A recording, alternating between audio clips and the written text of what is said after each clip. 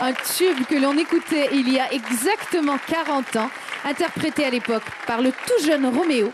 Ce sont les petits Pierrots dans les chansons d'abord qui nous chantent Maman.